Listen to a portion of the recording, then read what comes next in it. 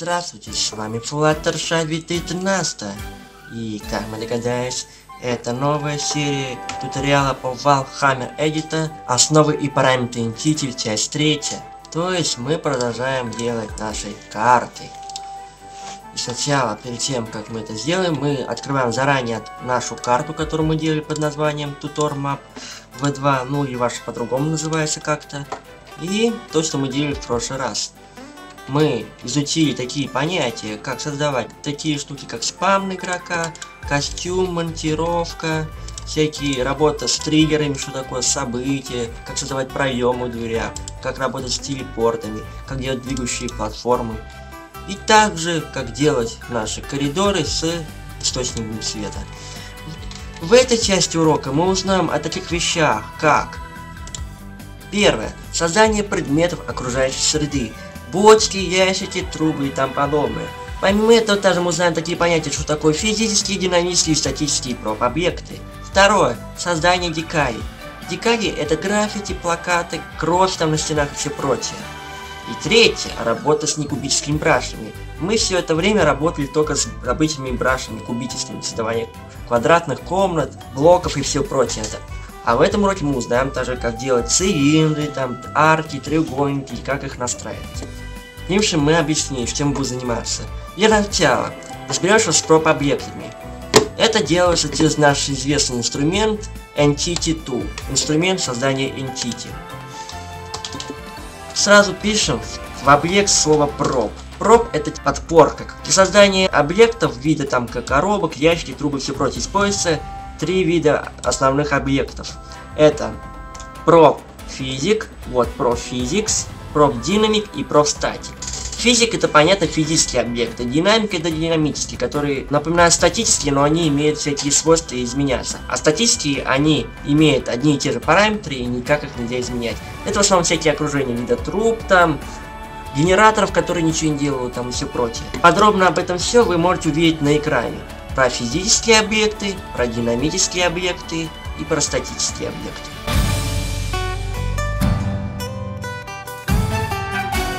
Значит, теперь сначала мы изучаем физический объект. Бочки, ящики, короче, любые предметы. Как это выглядит? Мы выбираем Prof Physics и просто ставим на карту. К примеру, ну, где вот этот Метраков Fluttershy у нас, вот тут будет такой предмет.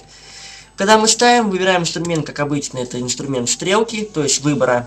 Мы видим вот этот квадратик, который у нас появился, это браш.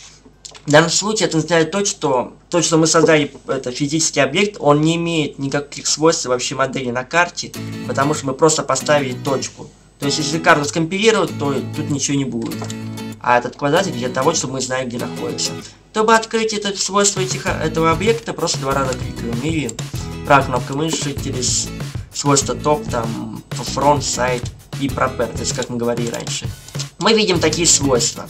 Класс info, самое главное свойство, это имя, это именно для того, если будем взаимодействовать там в будущем, там, через события и все прочее. Скин, модель и все прочее. Но самое главное окно, через которое мы загружаем модель в этот объект, это Word Model. Через него можно вписать самому путь, если вы знаете.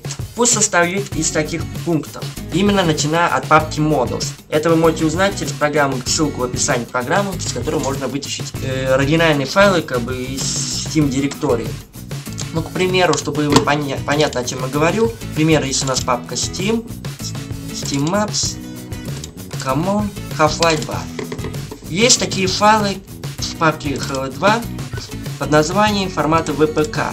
VPK файл это Steam архив, можно сказать, где хранятся оригинальные источники, можно сказать, там, текстуры, модели, звуки, карты, там, подобных оригинальных Half-Life. Мы смотрим, что используется программа GSF Escape. Так, не сделал. Через которую мы можем открыть эти архивы Valve, в данном случае, VPK формата. Открывается именно не вот VPK просто, но если откроем VPK, будет писаться ошибка, что мы не сможем его открыть. Или вообще ничего отображаться не будет. Именно открывается со словом dir. dir vpk, к примеру, звуки. Откроем dir vpk, мы увидим, что мы можем увидеть данные оригинальных звуков, музыки, там, звуков и все это прочее, как видите.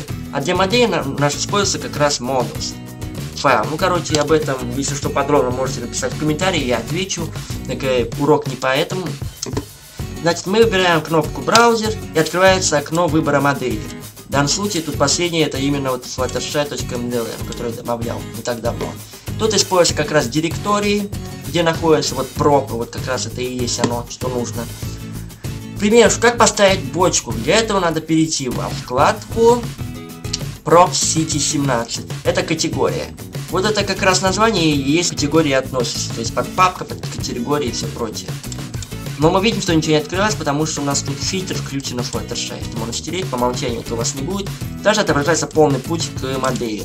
То есть начиная от папки Models и вот идет путь. Мы Prop City 17 выбрали, и вот видим кучу всяких объектов внизу. Это то, что мы будем использовать в качестве модели. Слева, как видите, отображается пути, справа отображается вид этой модели. Можно выбрать любой предмет, там скамейка и все прочее. Даже есть это просмотр, рендеры, как через полигоны смотреть, через коизию. Не использовать это пол, который по умолчанию, ну, для наглядности и все прочее. Другая вкладка Sequence это сцены анимации. В данном случае тут только идри, потому что у этого предмета нет никаких анимаций, это просто скамейка, которую можно разрушить в данном случае. Activities это дополнительный параметр у модели, точно не знаю, что это. Скины.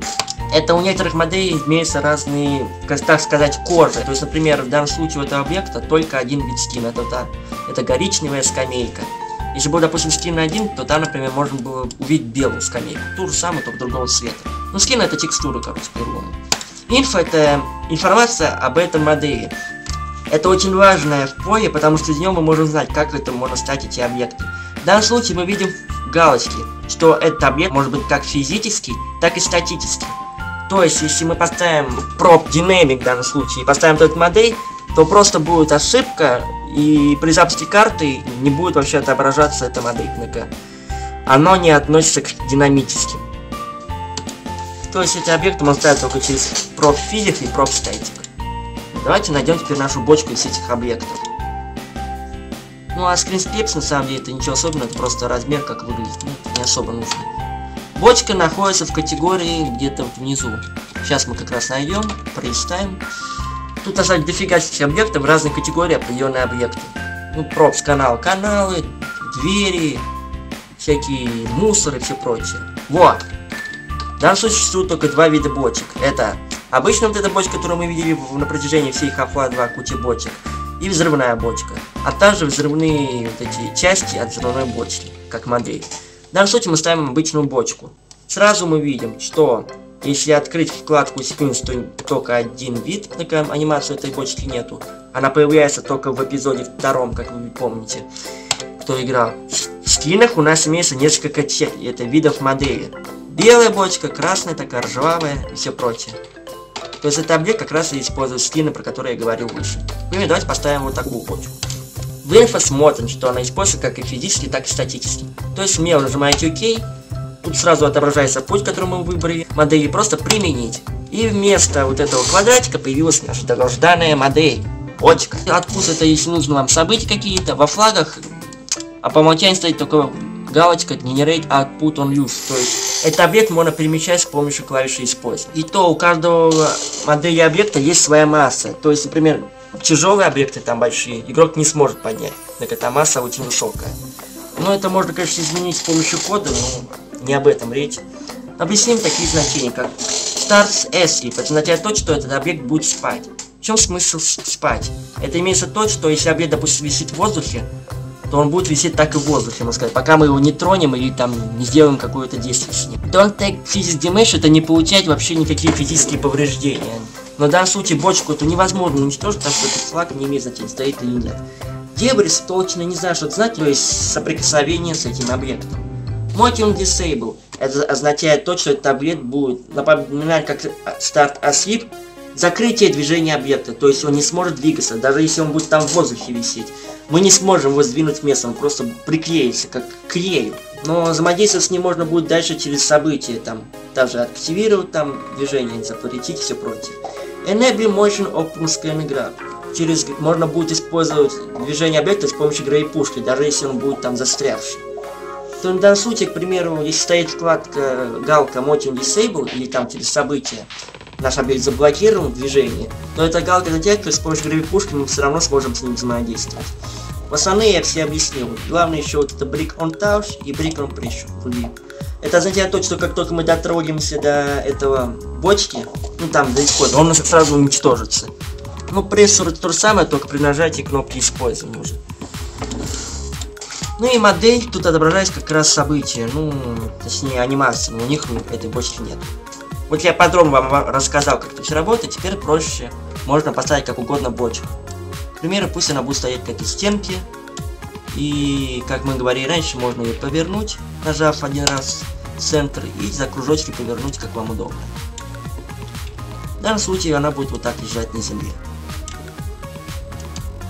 Так. Ну, к примеру, вот так. Главное, чтобы она не провалилась сквозь карту, иначе это будет рик, как я говорил в ранее уроках. Вот мы поставили нашу бочку, самый первый наш объект. Можно еще понасоздавать копии этих объектов, как делается копия. Я рассказывал на примере брашах в прошлых уроках. Выбираем нашу бочку и через Shift просто делаем копирование, сжимая левую кнопку мыши и Shift. И так можно посоздавать хоть тысячу объектов. Аналогично. Пусть, например, это будет вот так сверху лежать, она сразу упадет и физика опустит его на землю. Представьте игры. С физическими объектами мы разобрались. Что такое динамические объекты? Свойства в основном те же самые, если поставить это объект, как мы видим, проб динамик. И также выбираем можно модели. К примеру, выберем объект, который относится к динамическим. Это объект, который игрок не может взаимодействовать, но они имеют некоторые анимации. То есть это анимационные объекты. К примеру, возьмем Prop Slab категорию. Тут есть такая дверь из главы Восточная Черная Меза оригинальный Half-Life 2. Во! Это предмет, вот эта дверь. Так называемая, которую мы там пес сломает. Она имеет анимации. И мы видим, что она работает только с динамическими объектами. То есть, как физические статистики, этот объект нельзя использовать. Также он имеет анимации. Анимация вот этого, как пес как бы открывает дверь. И также вот этого открытия. Вот, к примеру, эти динамические объекты. Ставим на карту. И он выглядит таким образом. Конечно, карте он никак не будет взаимодействовать, ну, иметь какое-то значение, это просто для демонстрации. Можем поставить, к примеру, вот сюда вот этот объект. И сделать вот такую штуку, чтобы проверить, как работает данный объект. Выбираем два раза левую мыши и ставим имя. Имя пусть будет называться, допустим, коридор Door Animation. Это не имеет значения, как будет называться, но мне так удобно. Когда Door Animation примените, вот видим. Имя применилось. Теперь, для того, чтобы с ним взаимодействовать, мы используем нашу систему триггер, как мы создавали до этого, где взрывается микроков, взрывается стенка и нас стреляет. Выбираем сразу текстуру триггер, как это делать, я вам уже говорил.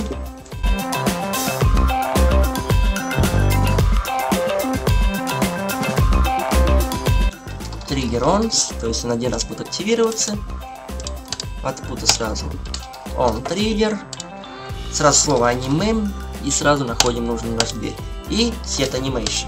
Set animation это делание анимации у этого объекта, короче, активация анимации. А какая анимация как раз вписывается в бите параметр override off значение, но так мы выбрать его не можем.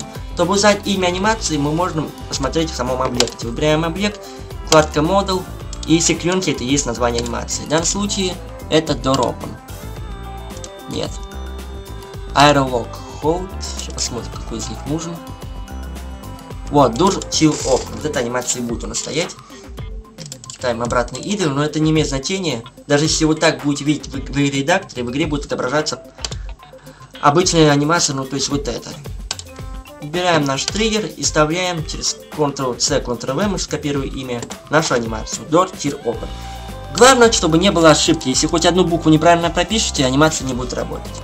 То есть теперь при активации триггера активируется анимация этой, этой двери. Конечно, без звуков, так звуков у них никакого нет. Но я не помню точно, это можно посмотреть будет в игре. Вот, что такое динамический объект. И третий вид объектов, это просто декорация для дизайна. Ставим Prosthetic, выбираем World Model. И да, хочу вам еще показать то, что свойства у этих объектов отличаются. Открыть бочку, Тут есть дополнительные поля, как там Макс Damage, там Макс это масса объекта и там подобное. У динамического чуть меньше тоже есть всякие подобъекты, а у статического нет ни особо таких параметров, потому что они не используются вообще им.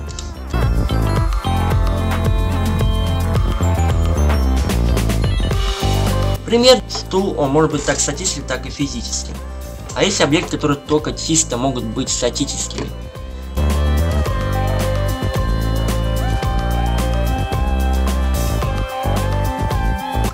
Камень, к примеру, вот.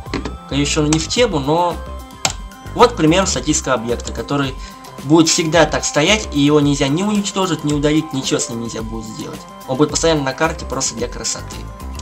Давайте поставим его где-нибудь вот сюда. Этот камень. И чтобы он за пол не уходил. Нет, все нормально. Вот, к примеру, наш статический объект. Заранее сохраняем сейфас, если что, чтобы не вылетело. Редактор это такое бывает, и сохраните. Я рассказал вам про первый пункт, то есть создаем предмет окружающей среды, бочки, ящики, трубы и тому подобное. Про спайпс. Спайп это как раз и есть трубы. Нас лимонад? Сейчас физическая это пауза. Окей, продолжаем. Следующее, что мы научимся, создание дикарей. Рисовки на стенах, не на самой текстуре стены, а который покрывает стену.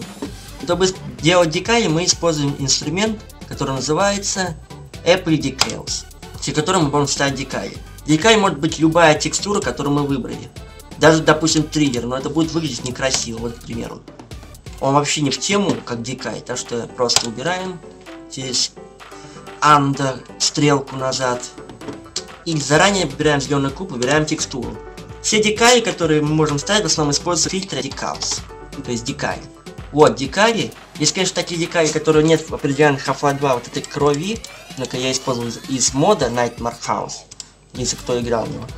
А стандартные, вот, к примеру, эти текстуры, вот эти, опять же, из других модов. Ну, допустим, вот альянсовые всякие там граффити и все прочее. Вот, к примеру, вот это. Выбираем, жмем инструмент Apple Decals и ставим куда угодно. К примеру, вот сюда. И вот он поставился. Обращу сразу внимание, что с работой деками очень осторожно должна быть. Вот смотрите, я поставил вот эту дикай. Ее можно перемещать, конечно, вот таким же образом, но ровно по стенке. Наклинать, если он чуть-чуть выйдет за экран, то дикай просто нельзя будет больше поставить. Ну, вроде все нормально, да, вы видите. Но смотрите, если сейчас сделаю вот такую штуку, вы по осторожности удалите случайно вместо дикай стенку, то дикай больше не будет отображаться. И в игре ее просто не будет видно. Но лучше именно на стенке. Через вид в основном фронт, к примеру. Можно также ее расширять, но этим инструментом это невозможно делать. Именно оригинальный размер. Чтобы делать дикаи, которые можно там расширить, сделать очень маленькие или там большие, независимо от размера текстуры, используется инструмент Apple Overlays. Это называется Overlay. Overlay это типа наподобие тикари, но они могут изменять это размер свой. И также с ними можно взаимодействовать, как удалить там через триггеры и все прочее. Пример, ставится это примерно то же самое. Выбираем дикай, к примеру. Мы хотим сделать очень большую вот эту дикай. Ставим этот инструмент Apple Overlays, к примеру, вот на эту стенку. И через эти квадратики осторожно просто изменяем размер. Учтите, что искажаться может размер. Вот смотрите дикари от Оливерей. Дикари, еще раз повторяю, можно ставить где угодно, но имеет один исходный размер, и с ними нельзя взаимодействовать, они как статические, можно сказать.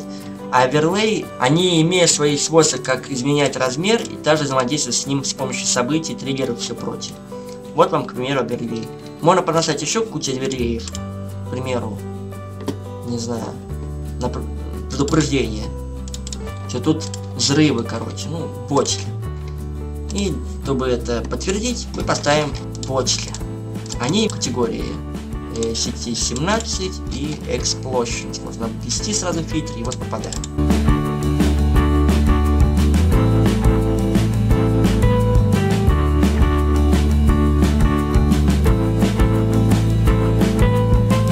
Давайте сделаем еще так, что тут появится, давайте, зомби. Это, конечно, дополнительный культура, но, опять же, телепроп Entity ставим МПЦ, как мы делали с Метроком, просто ставим зомби, МПЦ зомби и ставим, допустим, вот сюда. Типа наше препятствие, которое будет кидать бочки. Через э, Angus можно выбрать там как раз куда он будет смотреть. По виду сверху. Как я говорил раньше, там, в другую сторону. Примеру, вот зомби, который будет расширять наш бочки. Если мы, конечно, пойдем с этой стороны. Если с этой стороны, то он будет сзади стоять. Как вы поняли. И да, еще хочу лирическое отступление сделать. Такое, что есть такая штука, как ноды, инфонод. Это такие объекты, которые в карте вообще не видно, но они показывают NPC, что тут можно ходить. Короче, если не будет инфонодов на большой карте, ну, допустим, этот коридор, то зомби будут стоять на одном месте, к примеру. Когда, допустим, игрок убежит там. А инфонод это такие предметы, опять же, entity, через которые монстр понимает, что тут можно ходить. Короче, они будут там ходить туда-сюда, а не стоять на месте, ища там врага. И это очень полезная штука, на самом деле. И с помощью них даже многие NPC будут тебя видеть даже более 5 метров. По умолчанию, если ты более 5 метров от врага, например, от зомби, он просто будет стоять, будто тебя и нету. А так он сможет тебе подойти. Я объяснил, что это такое. Третье в нашем уроке, что мы изучаем, это сработать с кубическими брашами. Как это делается? Выбираем сразу текстуру, которую будем делать, как будущие браши наши кубы. Выбираем фильтр, чтобы не мешался. Забудьте, пусть будет э, текстурку такую. Делается это то же самое, как создание обычных браш. Через инструмент блок tool. Но справа есть еще типы объектов. Это блоки, которые мы всегда делаем. И также есть арч, арки, цилиндр, сфера, спайка. Не помню, что такое. Тоже вроде вот этот треугольник и еще один тип. Каждый из них это по-разному создает объект. Как это делать? Сначала создаем пунктирный объект. И перед тем, как создать объект через Enter или Create объект, выбираем тип объекта. К примеру, пусть будет этот цилиндр. И мы видим, что наш браш стал цилиндром, то есть трубой, так скажем. Можно поставить его на пол, изменить размер, как мы это раньше делали. И вот он у нас стоит. Его. Вот наш цилиндр. Может это сделать типа труба какая-то, которая ведет куда-то нас. Tools, make home. Комната. Через и групп, как мы раньше, раньше рассказывали, убираем часть через клавишу Delete и покрашиваем эту часть текстуры Black, темнотой, которая в игре никак не э, выглядит как просто чернота. То есть типа там есть какая-то дырка, можно сказать. И чтобы игрок не смог узнать, что там ничего нет, то это просто текстура, мы сделаем решетку. Решетка тоже имеет свое название.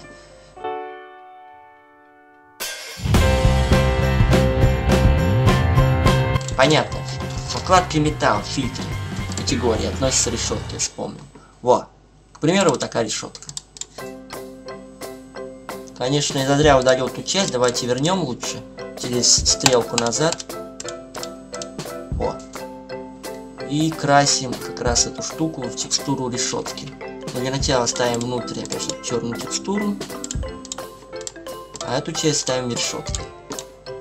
О! Теперь это выглядит вот таким образом. Решетку ты никак не сломать, а если снизу смотреть, то тут просто стенка, но мы это видеть не будем. Но чтобы игра не жаловалась, что тут, тут много всяких непонятных стен там, чтобы не компилировать, короче, карты эти места, можно сделать No Draw. Так игрок и так эту часть не будет видеть. Как мы окрашивали комнату. И вот. Труба, которая непонятно куда ведет, и игрок думает, что там очень глубоко. А на самом деле там ничего нет. Вот нам, к примеру, цилиндр. Можно сказать, как это работает. Остальные предметы, как создавать эти браши и все прочее, имеют один и тот же вариант в основном. Но, к примеру, возьмем другую текстуру, создадим еще один браш,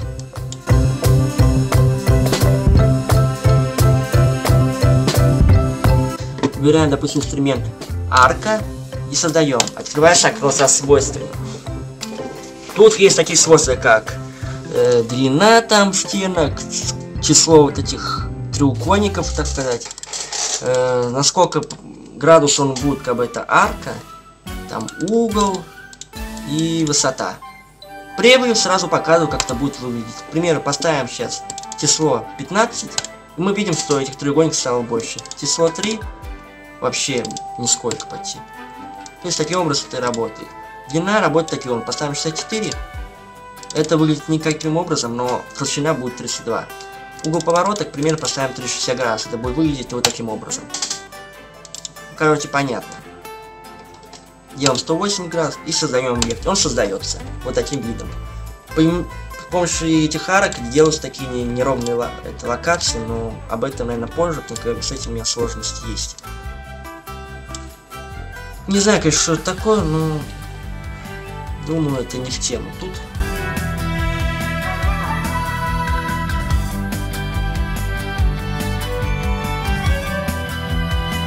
Ну да, вот толщина этого арки. 5 будет. И вот она похожа как раз на арку, по которой и название инструмента.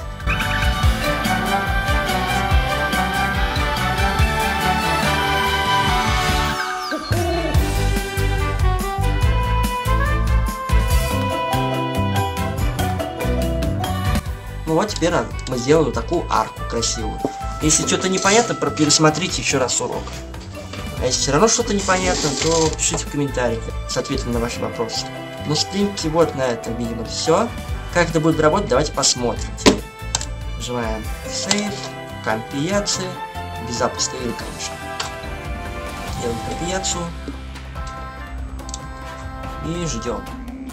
Ну, вот сразу запускается игра и запускаем нашу карту Tormap 1 v 3 И вот наша карта. Там спрайт телепорт, как было до этого, прозрачно. Можно сами поэкспериментировать. Лес метрокоп. Давай, пистолет. Вот. Анимация как работает, как видите, со звуком. Конечно, стенка сдвинулась. Потому что немного криво поставил, ну ладно. Вот наш цилиндр, на который, кстати, заесть нельзя, но бочка поможет. Наша физическая бочка. Так, как видите, с лифтом тут еще есть коллизии небольшие. Объект застрял в лифте. Он вообще провелся сквозь карту.